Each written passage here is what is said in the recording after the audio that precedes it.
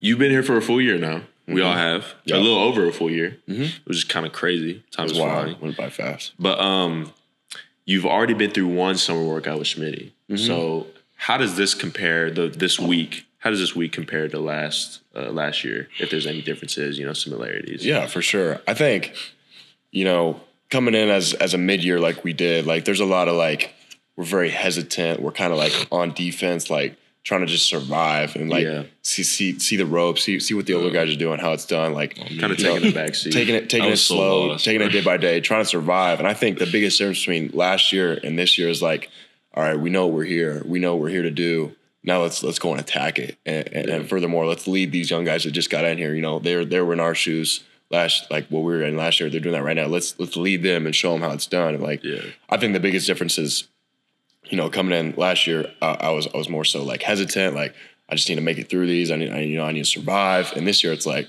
all right, I'm we need to dominate this. We need to attack this. We need to do it. We need to do it together. We need to, you know, make ourselves better. Because like, you know, the thing about college workouts is like anybody. If, if you're good enough to play college football, any one of those people can make it through a college workout, in my opinion. Like, it's not impossible.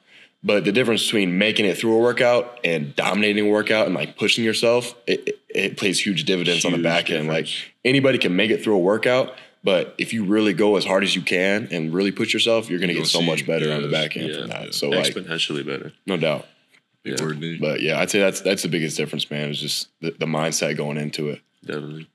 Yeah. you? Um, I mean, I haven't really, I haven't fully Oh, done these yeah. summer workouts, but like, I forgot, I, I understand, like, I understand where he's coming from, though. Like, uh, I mean, for y'all who don't know, like, I'm injured, like, got something going on with my knee, but Yeah. um, like, definitely, like last summer, um, like you said, like, I was just kind of trying to figure out what to expect and like kind of how I should get my routine down and like I wasn't really able to fully like attack things because I was like trying to figure out so many different things just about college in general. Like, Mm, it's a lot. There's a yeah. lot So like, I feel like I was trying to juggle it more, but like this year is more like clear cut. Like I know what I'm here for. Like I know what I want to do. I know my goals. I know Vision my aspirations. Yeah. So I mean, it allows allows me to go into things with like a more clear mindset. I would say. Yeah, definitely.